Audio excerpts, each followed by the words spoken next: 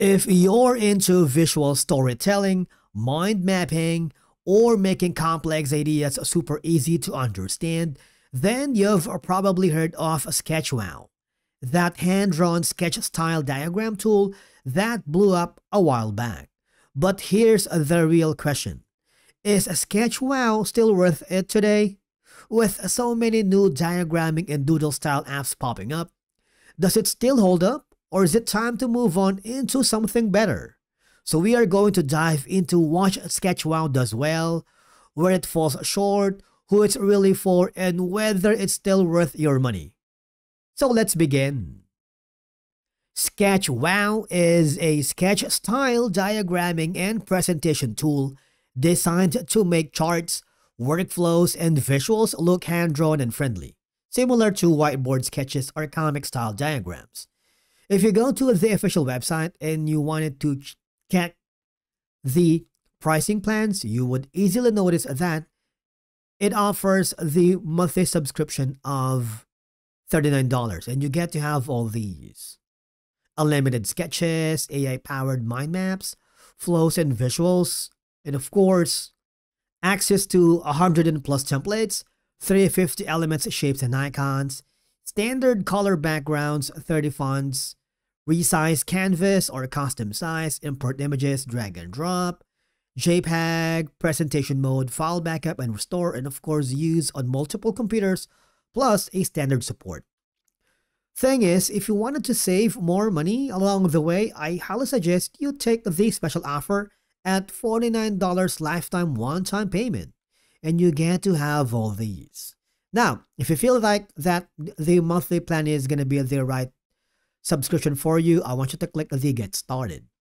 This is important for you to make sure that the platform is the right app for your business and it fits your workflow, especially your business size, goals, and your budget.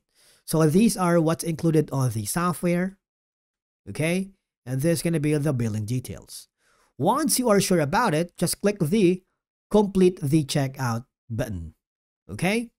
And then what will happen is that, all right, so you will be forwarded to the main page wherein you have all these options for you. So this is going to be the main dashboard of the welcome page once you logged in. Right now, we nothing is to see here because this is a newly created account. And of course, we have two options at the bottom. You can start to create a new project or start using an AI. I'm not going to do any of this. I'm going to go to the templates right away because on the templates, you can start building something without creating from scratch. So you have email flows, some customer journey email, empathy map, takeoff infographic, and a lot more.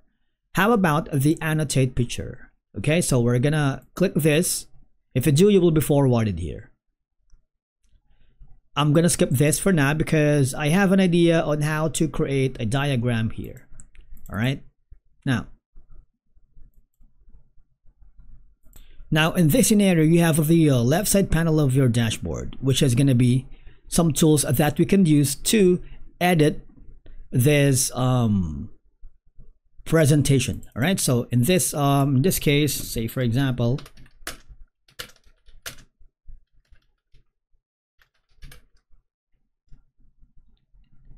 And then on the left side, you have the select button. The select button gives you the option to move any elements that you wanted. All right. So you can resize if you want. For example, if you feel that this is going to be like um, a little bit smaller, if you want to resize it, you have the freedom to do so. You have the cropping factor.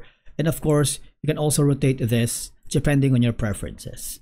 Now, this elements is if you wanted to add the specific shapes, for example, um, let's say if you wanted to add a circle, drag and drop it here.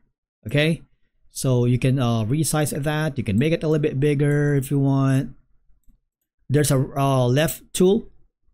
If you click on the uh, right side panel, you have an option to send backward if you want, similar to other platforms like Canva and a lot more. Okay, let's say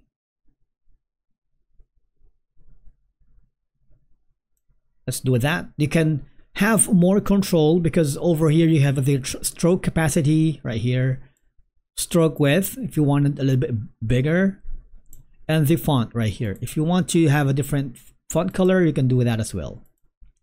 And then there's going to be the line. Line is similar to the shapes because for the line, you have more control over the stroke width and a lot more.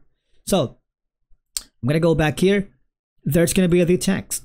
Now for the text, that's going to be the um, different. If you wanted to have a different font style, for example, this, you can do so. All right. The background is something that you wanted. If you want to add a grid right here, and you have that for you. The pencil is if you wanted to type in something here, for example, um, let's say you can draw, uh, you can draw something here. You can be creative, all right? You're not limited with your imagination. So with, with that in mind, we're gonna go back here. And then if you want to add a specific image, you can do that. Now I have my image here I'm gonna add it here on this side of my um, canvas and then once I've done that let I'm gonna choose another image and I'm gonna delete the first one I have this already here sorry about that. I'm gonna drag this logo here. It could be around here. So we have this covered right here. And then the templates is again if you wanted to create another um, workspace. Gonna do that because we've already done that. And then the simple sketches is if you want to click a simple sketch to add. For example, we're to be adding um maybe this one right here. Or let's say in this instance, we're going to be using this. Now that you've seen the platform in action and how intuitive it is, you can tell it's easy to navigate with virtually no learning curve. However, if you'd like to explore further, you can also visit trusted software review platform like Capterra. From here, you can check authentic user reviews, detailed feedback, pricing information, and potential alternatives to SketchWow. Because this site provides valuable insights from real users, helping you make a well-informed decision that fits your specific needs and budget. And with that being said, and basically that's it for today's video. If a SketchWow is still worth it. If this video was helpful, do not forget to hit the like button. And if you are new here, subscribe for more tech breakdowns and software reviews just like this one. If you have any questions or experiences using SketchWow, let us know in the comments below. We'd love to hear from you. And as always, thank you so much for watching and we will see you again in the next video.